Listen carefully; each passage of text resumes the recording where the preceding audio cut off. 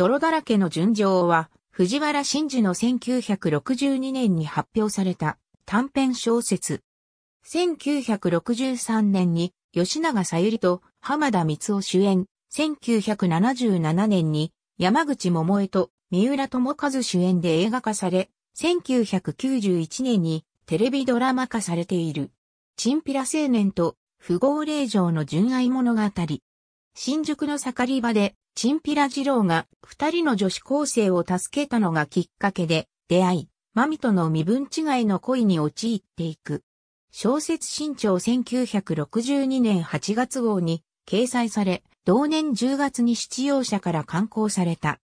昭和30年代のギャング映画が量産されていた時期に藤原真嗣も映画原作となった花と風とギャングたちなどのギャングものを書いており、それと並行したグレンタイ純情派、太陽は狂っているなど、チンピラ青年を主人公とした青春小説の中の一作。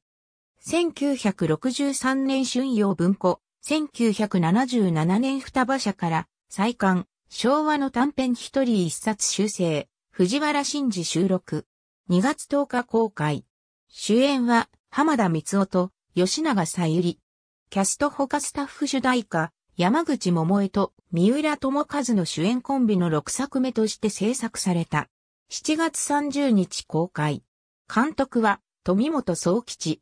9億8500万円の配給収入を記録。1977年の邦画配給収入ランキングの第7位となった。キャストスタッフ同時上映、ハウス、ハウス1991年3月16日に TBS 系列ドラマチック22で放送された。加山自三郎、金と女と、地、解説、ハット AB、キネマ旬報ベスト10全史、1946から2002キネマ旬報社、2003年、223ページ。ISBN4 から873765951。ありがとうございます。